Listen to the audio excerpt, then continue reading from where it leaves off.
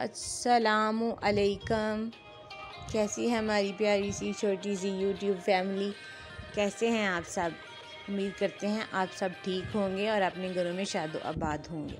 आपकी दुआओं से अल्हम्दुलिल्लाह हम भी ठीक ठाक हैं। तो आज हम बनाएँगे फ्रूट चाट फ्रूट चाट तो सबको ही बनानी आती है और सभी बहुत मज़े की बनाते हैं। इतनी माशाल्लाह हमारी फैमिली इतनी तो समझदार है। तो यहाँ हमने थोड़े फ्रूट्स ले ली थे। आपको पता है सीजनल फ्रूट में जो भी आपके पास हों। और ये हम मैं ना आपको खरबूजा दिखा रही हूँ। मैंने वैसे एक दफ़ा देखा था यूट्यूब पे, कोई खरबूजा डालता है।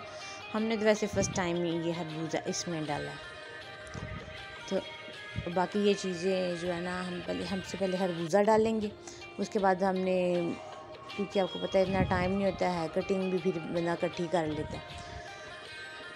वैसे भी ये हमने ना उस दिन हमारे घर दावत थी तो हमने ना ये फ्रूट सैलड जो है ना उसी दिन बनाया था। और ये हमने मतलब सेब, केला जो है ना वो इकट्ठे काटे हुए थे, क्योंकि दावत में थोड़ा काम होते हैं। और सुनाए आपका रमज़ान कैसा गुज़र रहा है? अल्हम्दुलिल्लाह, हमारा तो बहुत ही अच्छा गुज़र रहा है, और अब हम डालेंगे अनार डालेंगे।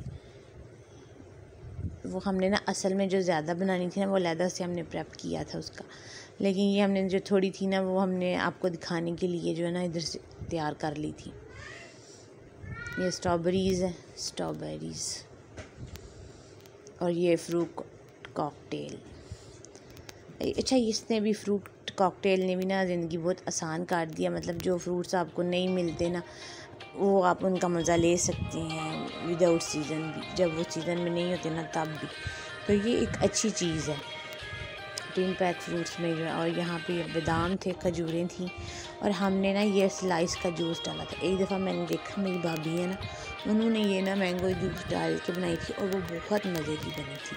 और यहाँ पे हमने जो है ना क्रीमी ऐड की, ये मायोनीज़ के अंदर हमने ना जो है ना ये जूस ऐड किया और ये भी इतने मज़े की थी ना, मैं आपको बता नहीं सकती। और क्रीम से ज़्यादा लाइट थी। क्रीम वाली अगर थोड़ी हैवी भी होती है ना तो ये इतनी हैवी नहीं थी। ये भी बहुत मज़े की थी। मायोनीज़ के साथ इसमें हमने क्रीम नहीं यूज़ की। तो इसके अंदर हमने मैंगो जूस डाल लिए थे और जो है ना मायोनीज़ डाल ली थी। इससे भी बहुत अच्छा उसका क्रीमी टेक्सचर था और टेस्ट भी बहुत अच्छा था। क्रीम के साथ भी बहुत मज़े की होती है, लेकिन हमने ये एक तजर्बा किया था और ये अच्छा रहा। माशाल्लाह, इससे भी बहुत मज़ा आया। अब हमने इसके अंदर जूस मिक्स कर लिया और डाली और हमने कुछ भी ना चीनी, ना कुछ भी नहीं हमने डाला। बस जो फ्रूट फ्रूट्स की जो अपनी मिठास थी और जो कॉकटेल के अंदर सिरप था वो और जूसीज और मायोनीस इसके अलावा हमने एक्स्ट्रा कुछ नहीं डाला। कोई चीनी वगैरह नहीं थी। अब ये ऊपर हम इसके ऊपर थोड़ी खजूरें और किशमिश डाल देंगे। ये किशमिश आपको ग्रीन ग्रीन ये देसी किशमिश होती है।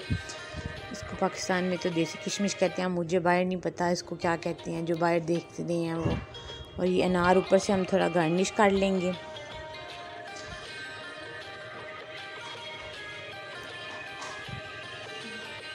और इनके तायाबू को भी बहुत पसंद आई थी। उनकी तायाबू की फैमिली की उस दिन दावत थी, जिस दिन हमने ये बनाई थी और उन्हें भी बहुत पसंद आई थी। कहते हैं ये भी अच्छी बनी हुई है। मतलब क्रीम के बगैर आपने बनाई है और ये हम थोड़ा सा थम नेल के लिए टेशन कर लेंगे वीडियो का। अदरवाइज़ उस दिन टाइम हमारे पास बिल्कुल नहीं था, लेकिन हमने कहा, नहीं, अब थोड़ा सा तो कुछ करें ना। तो फिर हम ये थोड़ा सा जो है ना, एक ग्लास भी ये असल में हमने ना स्पेशली तायाबू के लिए ही सजाया था। क्योंकि तायाबू उस दिन आए हुए थे बच्चों के तो वो फिर हमने चलें जी वीडियो को देख के, अगर आपको वीडियो में कोई बात अच्छी लगे तो देख के लाइक कीजिएगा शेयर कीजिएगा सब्सक्राइब कीजिएगा, और अपनी दुआओं में याद रखिएगा। अब आप इंजॉय करें फ्रूट चाट को और हमें दें इजाज़त। अल्लाह हाफिज़। लिली जल्द आपके सामने आएगी। लिली, क्यों नहीं आ रही? इन जल्द आपको बताएँगे, लिली आपके सामने क्यों नहीं आ रही। हाफिज़।